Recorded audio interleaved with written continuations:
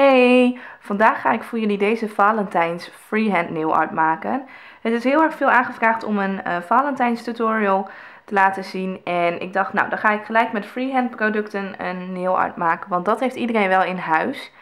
En ik wilde graag een nail art maken die je ook de dag ervoor of de dag erna nog um, ja, kunt dragen. Dus niet over de top allemaal hartjes en dat soort dingetjes.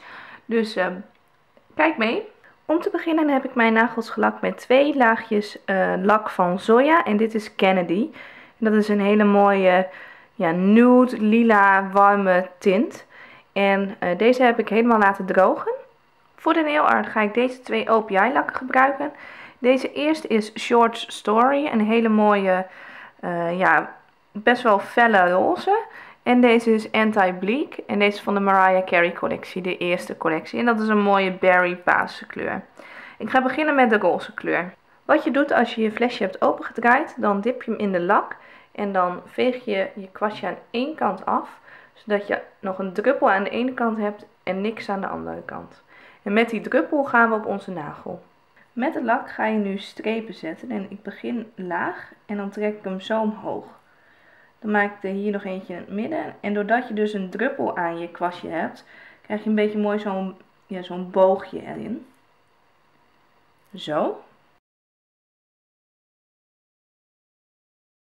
Dan zit het eerste laagje erop. Deze laat ik heel eventjes drogen en dan ga ik hetzelfde doen met de donkerpaarse kleur. Met de donkerpaarse kleur ga ik hetzelfde doen, alleen ik laat een klein stukje van de roze lak over, zodat je daar een mooi randje van krijgt.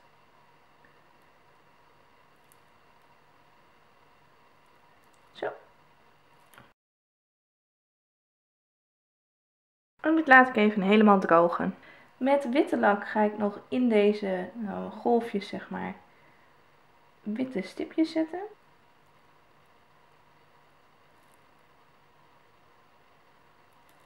Vervolgens breng ik onderaan bij mijn nagelriem nog wat stipjes aan.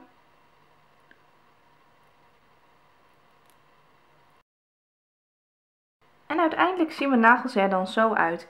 Hele leuke Valentijnsnagels zonder echte hartjes en andere dingen. Dus je kunt ze ook de uh, eh, 15e of de 16e nog dragen. En dat vind ik zelf wel heel erg fijn aan deze nail art. Ik hoop dat jullie hem leuk vonden. Als je, als je ze na gaat maken zou ik het leuk vinden als je me een foto stuurt via Facebook of Twitter. Ik wil jullie bij deze heel erg bedanken voor het kijken. En ik zie jullie graag volgende week weer. Doei!